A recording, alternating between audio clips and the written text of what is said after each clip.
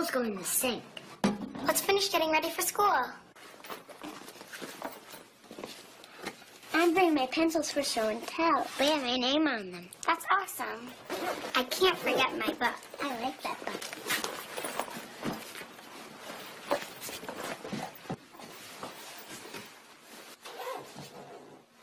Bye, Joe. Have a nice day.